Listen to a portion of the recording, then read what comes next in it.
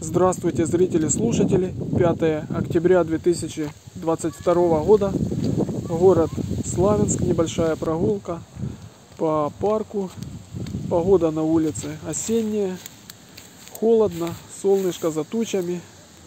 Такая вот общая картина.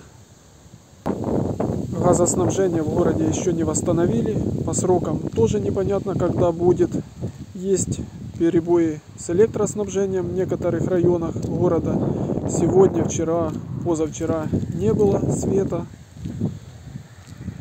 По улицам гуляет много бродячих собак.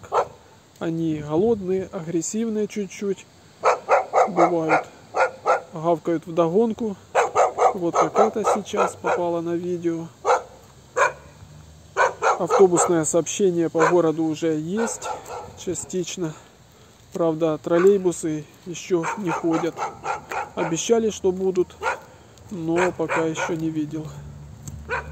Гуманитарную помощь в городе есть возможность получить, кому она нужна.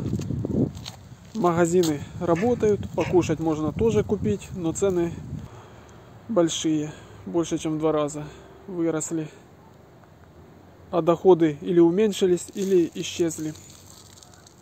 Вот так. До скорых встреч!